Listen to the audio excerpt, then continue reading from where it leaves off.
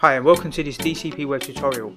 In today's tutorial I'm going to show you how to add a watermark logo in Premiere Pro.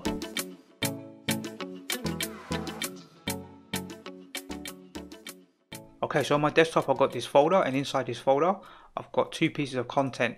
This video content I downloaded from Pexels website. I'll put a link to that same content in the YouTube description. I've also got my logo here on a transparent PNG file. So it's important that you have a transparent PNG. This will give you the best results. So let's go ahead and open up Premiere Pro and we'll take the video and the logo and drag it into the projects here. Let's take the video content and drag it onto the timeline and we'll take our logo and we'll drag that onto the top layer. So now you can see the logo here and we want to stretch this logo so that it fits the full length of the video and just keep stretching it for however long your video content is.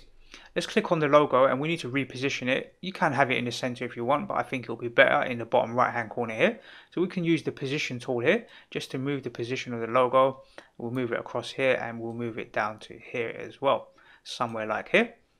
And we want to make that much smaller, so we can use the scale tool to scale it in to around this sort of size here. I think will be pretty good. So you can adjust your logo accordingly and we'll just drag it down to here. Now we've got a permanent watermark logo in the bottom right hand corner. You could have it in the top, any of the corners, wherever you prefer. Now if we were to click the play button, we can see the seaside and the water and we can see our logo sitting here. But it would be nice if that logo could fade in and out at the beginning and at the end. So let's go back to the beginning of the timeline and we'll go over to the dissolve tool here.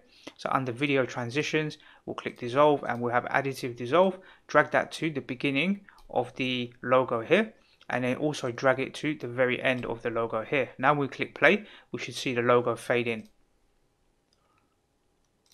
And if we go to the end of the timeline and click play, we should see the logo fade out. So that's how you can quickly add a logo um, overlay using Premiere Pro. I hope you find this tutorial useful. Let's minimize this and close this and I look forward to seeing you in the next DCP web tutorial.